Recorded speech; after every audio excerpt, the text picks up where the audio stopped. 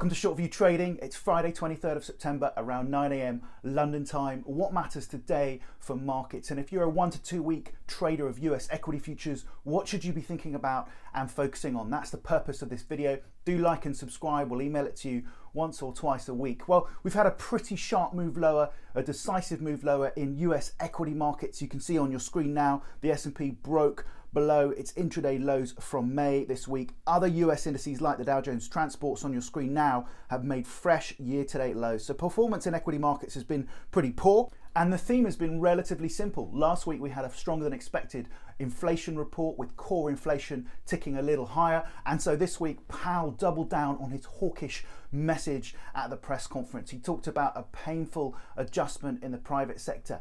He talked about more tightening and a correction in the housing market. And he said it will be enough. He had a whatever it takes moment with respect to tightening up monetary policy and restoring price stability. And so, as you can see on your screen now, that was followed by further strength in real yields, which are highly correlated with equities. The dollar has strengthened, another key headwind for the equity market, of course. And reflecting all of that, financial conditions have tightened up further and have been driving the near term direction of equities.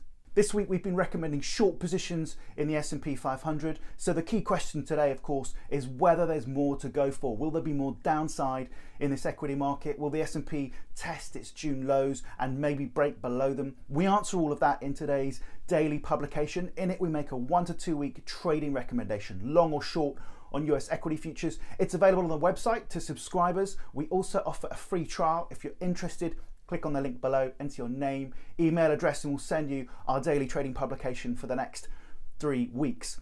How do we make these calls on markets? What gives us an edge? Well, it's indicators like this one you see on your screen now. This is a one to two week technical model, and you can see it's been timely in picking key turning points in markets in recent weeks and months.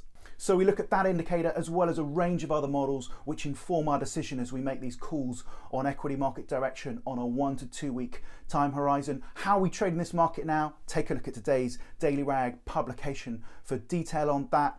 Do join us on Twitter, LinkedIn and or Facebook. Follow us on YouTube. Thanks for listening.